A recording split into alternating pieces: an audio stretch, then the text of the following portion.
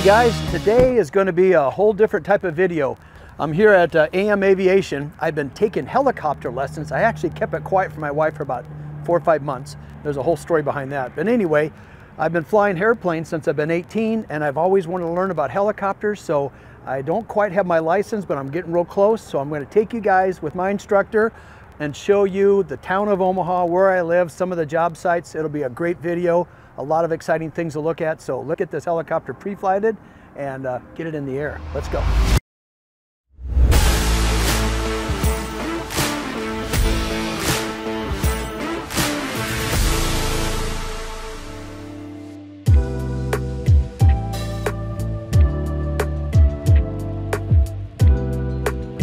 Right, let me take you guys back here and show you. They have several helicopters. They actually have two little ones. Those are called the R-22s. R stands for Robinson. Then they have two bigger four-seaters, and that's called the Robinson R-44. So today we'll be flying this blue one, and that's what I've been learning in quite a bit. There's also an orange one. My job is when I get here, my instructor stays up and I have to pre-flight the helicopter, which means I got to go through and make sure everything is in order, check the fuel. So I'll walk you through that process. There's a lot of buttons and different things I need to check. So this is the side I sit on. On a helicopter, you sit on the right side. Typically, on an airplane, you sit on the left. And I always need my flashlight. There's a lot of nuts and bolts and stuff you need to check. So first thing first is I open up all these panels to get a look inside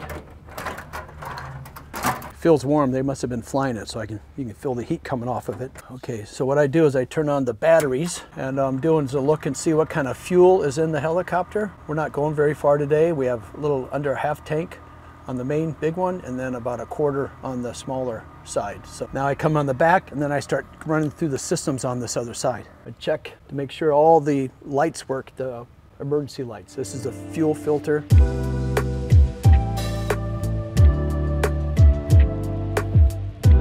So in here, when you park the helicopter, this is the brake that stops the blade from rotating. So I need to release that because I have to climb up and make sure everything's in order. So my next step, I have to climb up here, check all these fittings and every little nut and bolt has a white paint on it. So if the paint and the bolt where it's painted is not matching up, that means something has come loose and that's throughout the whole helicopter. So this looks good. So I climb back down, now put the brake back on. The brake's for when you go outside in case it's windy, you don't want it flopping around. So now I check the fuel to make sure there's no contaminants in the fuel tank. And you smell it, make sure it's not water. Then you look for bubbles. There's no bubbles, so it's all good. So I put it back in. There's another one down here. No water bubbles. Smells like gas. I said gas. Remember I said about the bolts? So you can see all these little fittings. You want to make sure that paint, all those little paint things, nothing's moved. So I pull this, this is for the tail rotor filter, make sure there's no birds and bugs clear down in there. Then I make sure the rail, the tail section is connected. There's nuts and bolts there as well that have all been painted. There's four locations. That all checks out. You want to make sure all these are secure. You don't want them coming off, opening up in the air. Then you check the antennas, make sure nothing's loose. Then you run your hand, check all the rivets. And then the last, we check the oil. Wow, you guys change oil? It's clean. It's really fresh. It's like yeah. 100 hours. Wow, it's so fresh. It's, like it's hard to read.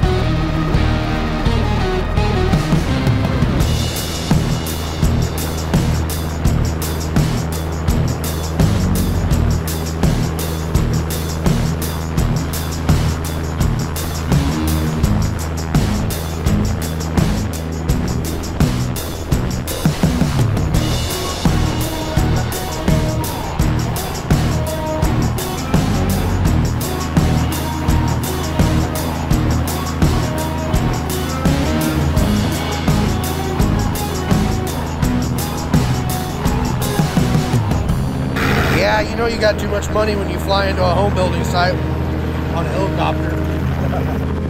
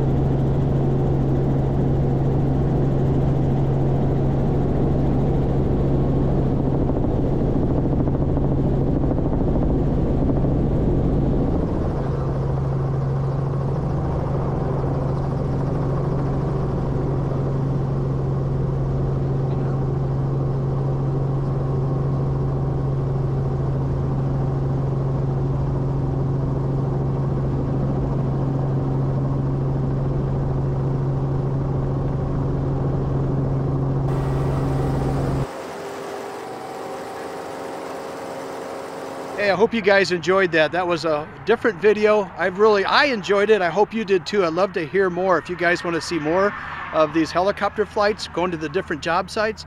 But that hopefully gave you a little taste of the town that I was born and raised in, Omaha, Nebraska. We flew through downtown. We even landed in Flair's backyard. Not every day you get to fly a helicopter and land in Flair's backyard. Hopefully you got to see a nice bird's eye view of everything. I was kind of wondering what Ralph the Camel was up to when I came in. He's my buddy. But with that, I really appreciate you guys hanging out. Please give me your comments. I'd love to hear from you. And with that, I'm going to be off to the next job site. I'm Brad the Builder. See you soon. Hi, I'm Brad the Builder. Today I'm here to ask for your help. We have a member of the Brad the Builder family, Colin Doyle. He is in a wheelchair. He's also a ex-Marine that has toured in Iraq and has two Purple Hearts. He is currently in the hospital, has been in and out of the hospital for the last several years. And what I've learned is Colin is in desperate need of a barrier-free, uh, handicap accessible bathroom and also some parts of his home as well. So I'm here to ask for your help. I want to raise $20,000 so that we can go down and I have a contractor that I've been working with that will come in and help us get the labor, do the demo, but we have to raise this money to buy the expensive materials that it takes to put this together. I've done several of these in my market, and the bad part is these handicap accessible items are extremely expensive, and that's why it's hard to really see them in homes, but we're gonna make this happen with your help so that Colin Doyle can come home from the hospital and spend less time in the hospital and more time with his family. I also have a friend, Theo, down in Little Rock, Arkansas, is extremely talented. I want to show you what he is going to do for Colin by building these beautiful cutting boards. Welcome to my shop. It's a nice chilly day in Arkansas. This is where I do most of my woodworking. Brad and I are working on a project together. We're going to try to uh, raise some money to, to help some disabled veterans out. My part of it is I'm using all this scrap lumber to see if I can build some cutting boards and some other things. And you can see around in my shop, I'm kind of in the process of quite a few things. Here's an example of one that I'm working on. This is actually, uh, you know, a lot of people do these projects and they end up throwing this wood away, but I mean, some of this wood is actually pretty impressive. This is a zebra wood. This is wenge. I have it all clamped up right now. You cut it down and, you know, this is obviously the early stages. But once I get it cleaned up, this, this board is going to be spectacular. As you can see, those are some beautiful cutting boards. Theo has actually sent one up to me. There's only a limited supply. We have 30 of these cutting boards that are going to be made available free to you with a donation on my website. If that's uh, too much money, you can just donate cash to help with the funds. Or I have hats and I have shirts that anytime you buy those on my website, 100% of all these funds are going towards Colin's cause. I'm confident that we can make this happen. And with your help, we can change Colin's life. So please donate now. I'm Brad the Builder. And as always, I'll see you guys at the next job site.